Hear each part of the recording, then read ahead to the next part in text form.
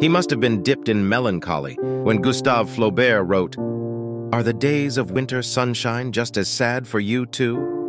When it is misty in the evenings and I am out walking by myself, it seems to me that the rain is falling through my heart and causing it to crumble into ruins.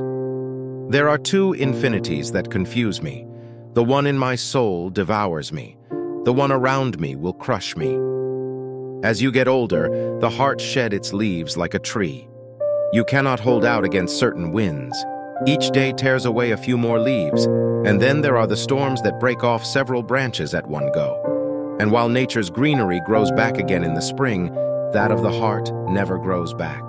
In every parting, there comes a moment when the beloved is already no longer with us. A memory is a beautiful thing. It's almost a desire that you miss. Sometimes I don't understand why my arms don't drop from my body with fatigue, why my brain doesn't melt away.